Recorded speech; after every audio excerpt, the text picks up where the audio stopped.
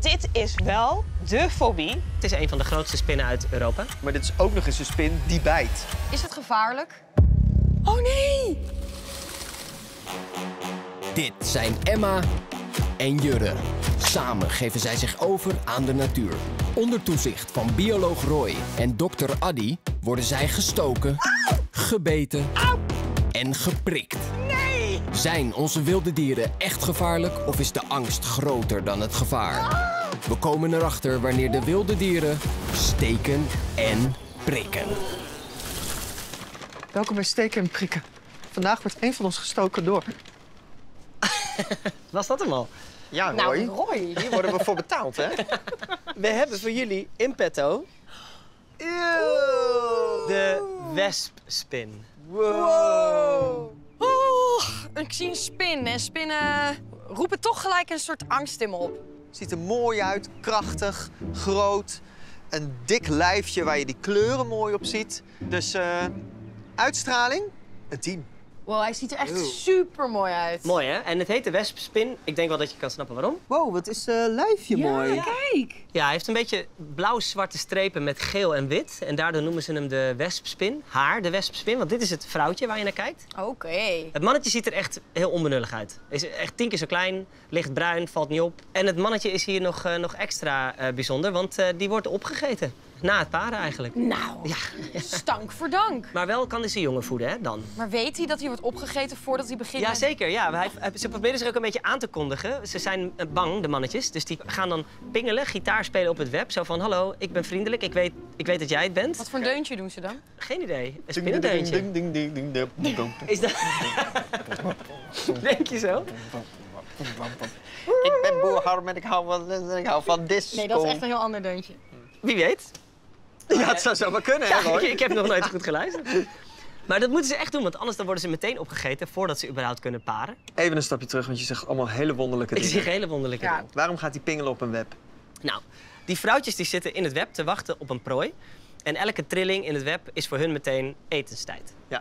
Maar als je nou een mannetje bent die wil paren, moet je ook over dat web. Dus dan moet je laten weten dat jij het bent en dat het oké is. Dus mannetjes wespspinnen die gaan dan tokkelen op het web om het vrouwtje te laten weten van... hé, hey, hallo, ik ben geen prooi, ik kom, ik kom om te paren. Dus ze willen wel heel graag naar toe, maar ze moeten een beetje voorzichtig zijn. Is het gevaarlijk, de spin, eh, spinnenbeet? Ja, de beet van deze spin en eigenlijk alle spinnen die in Nederland voorkomen, daar hoef je niet bang voor te zijn. Maar het kan wel eventjes wat, ja, wat gevoelig of wat pijnlijk zijn, omdat ze met die kaken er dan in je, nou, in je vlees zitten. Zijn het sterke kaken? Nou, voor de grootte van de spin vind ik het aardig sterke kaken. Want ehm, oké, de spin is groot, hè? het is een van de grootste spinnen uit Europa. Maar dan nog moet je ook door mensenhuid heen kunnen drukken. Dus je moet best nog wel sterk kunnen zijn.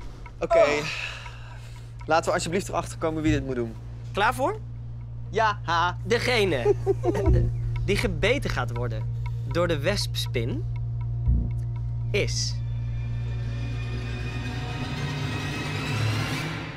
Emma. Oh! Nee! Ik verwacht dat het best een pijnlijke beet gaat zijn eigenlijk. Het is echt een groot spin. Maar ben je heel bang voor spinnen? Nee, maar ik vind gewoon... Dit eh, is natuurlijk een... Zo'n snel beestje. En daar word ik een beetje paniekerig van, Ja. vaak. Dit is wel de fobie, de grote angst van de Ja. meeste mensen als we het over dieren hebben. Dan zijn ze bang voor spinnen of spinachtigen. Ja. Dit is gewoon überhaupt een spin. En daar zijn denk ik heel veel mensen bang voor. Maar dit is ook nog eens een spin die bijt. Ja. En de wespspin heet. Ja. Is, Ja. De, is de bijt net zo heftig als de wespensteek? Zullen we achterkomen vandaag? Oh, Roy. we zijn heel benieuwd naar de pijnometer. Oké. Dit is dus de wespspin. Maar zij wordt door haar strepen ook wel eens de tijgerspin genoemd. De kleuren van de wespspin zijn ervoor bedoeld om haar vijanden af te schrikken. Felle kleuren, waaronder geel en zwart, betekenen maar één ding: gevaar. De wespspin maakt ook een bijzonder web. De basis van het web is hetzelfde als bij veel andere spinnen. Maar de wespspin voegt daar iets extra's aan toe. Dwars door het midden van het web maakt zij Z-achtige vormpjes. Waar zij dat voor doet is niet bekend, maar het ziet er wel super mooi uit. Maar zou deze spin me zo, zomaar spontaan bijten? Nou, het is grappig, want in Spanje, Italië, waar ze oorspronkelijk vandaan kwamen, werden mensen op vakantie wel eens gebeten. Dus er zullen mensen zijn die denken, hé, hey, ik heb die spin wel eens gezien. En dan word je gebeten doordat je mm, of in het web stapt, of ze in het nauw drijft, of plat drukt per ongeluk. En dan kunnen ze wel eens bijten. Maar je loopt best wel vaak met je hoofd door een web, toch? Doe je dat echt? Ja, ik loop best wel vaak dat ik ineens denk, huh, wat voel ik? En dan dat ik door een web ben Ja, per ongeluk. Nou, dat, die, die spin. Ja, maar dat spinnen kunnen wel zielig. een kapot web kunnen ze zelf weer opeten. Dan hergebruiken ze die eiwitten en dan kunnen ze met die nieuwe eiwitten weer een nieuw web maken. Echt? Ja, Nou, Recyclen. de recyclen. Ja. Wauw. Het spinnenweb, dat komt toch uit de kont van een spin? Eh, ja, nou, het komt niet uit de kont. Kont ze heeft twee spintepels aan de achterzijde van haar lijf. En daarmee maakt ze eiwitjes die samen een draad vormen. Tepels? Dus, ja, je kunt het het best... Het worden ook tepeltjes genoemd. Waarom? Omdat er een, eh, een eiwit uitkomt. Net als dat er melk bij mensen uit de tepel komt... komt hier een eiwit uit dat spinnenweb maakt. Kunnen we die twee tepeltjes ook zien?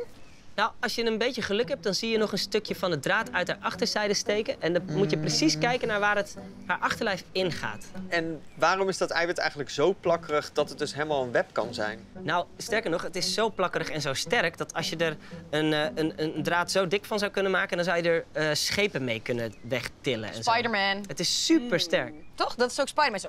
Ja, het zou echt kunnen. Het is echt heel sterk. Zo'n zo'n trein trekt hij zo. ah! Ja, en voor, helemaal als je de dikte van zo'n draad ziet, het is mega sterk voor Ja. de, hoe dik het is. Maar Spider-Man is dus gewoon... Dat zou gewoon echt kunnen. Draden die zo dik zijn als de Ja. draden van Spider-Man, daar kan een mens echt aan Spider-Man heeft Ja, wel dikke draden. Die heeft zeker dikke, Dikke draden. draden. Er zijn nu onderzoeken gaande waarbij ze die eiwitten proberen na te maken. Omdat ze eigenlijk in de bouw en in de, in de industrie willen gaan kijken of ze dat niet kunnen gebruiken. Ja. Ja, super sterk. Oké, Emma, ik denk dat het tijd is.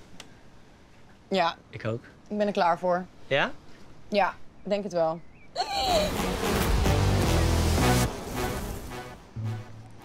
Oh, your worst nightmare. Een kruising tussen een spin en een wesp. Ja, want hij verkleedt zich dus als wesp, zodat hij anderen bang kan maken. En de vrouwtjes eten gewoon de mannetjes op. En ze maken ook nog eens een heel groot web met een z erin. De Z van sterke beet. Oeh, de Z van zielige Emma. Oh. Klaar voor? Nee. nee. Maar we gaan het gewoon doen. Oké. Een spin is mijn vriend. Ja. Spinnen zijn mijn vrienden. Spinnen zijn mijn vrienden. Daar gaan we. De wespspin. Het moment is daar. Ik prent mezelf in. Het is maar een spin. Je bent niet bang voor spinnen. Spinnen zijn lief. Spinnen zijn leuk. Je kan dit, je kan dit, je kan dit. Oeh, hij heeft een lange poot ook. Roy durft het ook allemaal, hè? Daar hebben we het nooit over gehad. Inderdaad, Roy die durft het allemaal. Dus ik leg mijn arm op tafel, doe mijn mouw omhoog. Roy pakt die spin. Zet hem op mijn arm. En dan ben ik in één keer alles kwijt wat ik daarvoor dacht. Nee! Nee! In één keer denk ik alleen maar, haal die spin weg. Haal die spin weg. Spin moet weg. Ik wil geen spin. Ik wil dit niet meer doen. Ik wil het niet. Ik wil het niet. Ah, nee! Heel, hij is heel groot. Kom. Hij is nu nog groter dan ik dacht. Oh, hij is wel mooi. Ah, nee. nee. Niet bang, je was niet bang. Ik moet er misschien aan wennen. Dus ik laat hem eerst over mijn arm lopen. Ik vind dit vind ik al best wel heftig eigenlijk, als ik eerlijk ben. Heel dapper. Holy moly, ravioli. Kom maar, hierheen. Oké, ja, ik vind dit, dit kan ik aan. En het kriebelt en het kietelt en het is een beetje eng. Ik schrik ook van mezelf. Ik wist niet dat ik zo bang was voor spinnen. Ik probeer me er echt toe te zetten. Wat je ziet gebeuren bij Emma is wat heel veel mensen hebben. Je ziet haar terugtrekken, ze wil het eigenlijk niet, maar vindt, nou nee, ik moet het toch wel proberen. Maar elke keer is er die reflex die ze heeft van, oh, dit is gevaar, ik moet hier weg. Dat is een hele natuurlijke reactie. Bij gevaar wil je weg. Nou, nog een laatste keer proberen. Mag ik hem vastdrukken? Nee, nee, nee, nee. Er zit gewoon zo'n blokkade in mijn hoofd dat ik, dit, dat, ik, dat ik het niet kan. En ik weet niet waarom, want ik, ik wil het wel kunnen. Ik kan het echt niet. En dan opeens zegt Jurre... Emma, ik heb één oplossing.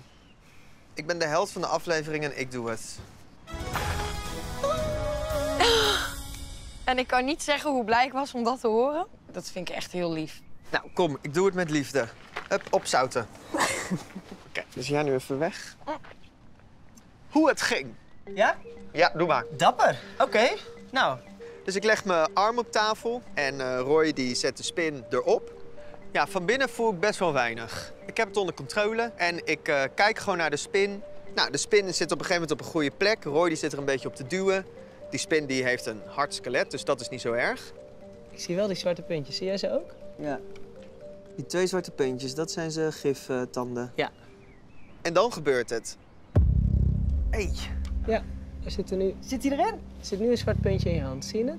Ja. Ik zie echt één haakje erin gaan en dan een stukje van de ander. Hey, ik voel hem. Hij zit te pompen. En ik voel wel iets, maar het is geen pijn. En dan laat hij los. Tijd voor de kijkersvraag. Floren vraagt: Wat zou jij willen vangen in je web? Jouw hart. Mijn hart klopt niet meer. Mijn hart is echt. klopt niet. Hey, goed gedaan. Ik ben wel echt jouw Prince Charming, toch nu? Hoe doe jij dit met een stalen gezicht? Ja, echt? Ik snap het niet. Ik weet niet, ik had er een goed gevoel bij. Zal ik even plaatsmaken voor dokter Addy? Ja. Oh, jeetje. Oké, ik heb een heel klein puntje. Ik zie, ik zie nauwelijks iets. Een heel klein rood puntje, maar het is niet eens echt door de huid heen gegaan. Het is meer een kneuzing. Dus jij bent helemaal oké. Waar ik heel benieuwd naar ben, is alle stress van Emma en wat dat met jou gedaan heeft. Ik heb het idee dat mijn hoofd in de fik staat. Ja, Mijn oren zijn ook super warm. laat eens zien. Ja. Oh ja. Oh, Ja. zijn heel Ja. rood. Ja. En je jukbeen er ook een beetje. Ja. Ja, en dat is dus een van de reacties die je krijgt als je heel veel stress ervaart. Ik had niet gedacht dat het me niet zou lukken. Maar was het een angst die je dus nog niet kende? Nee, nee, maar het is zo'n lief spinnetje en hij is mooi en hij doet eigenlijk helemaal geen vlieg kwaad. Hij, hij, hij komt niet eens. Ja, hij doet niet eens echt pijn, toch? Of deed het pijn? Op de schaal van 1 tot 10 op de pijnometer, hoeveel zou je hem geven? Ja, als één een kusje is en tien mijn arm eraf, dan geef ik de wespspin een 1. Een 1? Echt een piedepoede, piedepade, piedepiede, poede, piede, piede klein Beetje. steekje. Ik voel me echt zo'n grote baby. Nee, dat hoeft echt niet. Want in de, in de titel van het programma zeggen we ook al... is de angst groter dan het gevaar. En de angst voor spinnen is aangeboren. We hebben in ons brein echt een stukje zitten dat zegt... niet doen, pas op. Die alarmbellen hebben echt een functie. Want er zijn spinnen in de wereld waar we vroeger echt bang voor moesten zijn. Inmiddels weten we misschien dat we niet bang hoeven te zijn. Maar dan nog is het lastig om die signalen in je hersenen te negeren. En dat is wat Emma vandaag heeft ervaren. En het mag ook gewoon. Je mag voor een spin ook een beetje een angst voelen. Ja, mooi. Dan sluiten we af met een hele mooie wijze les. Echt een hele mooie wijze quote. Hey, doe je? Dag! Emma gaat nu eh, naar de psycholoog.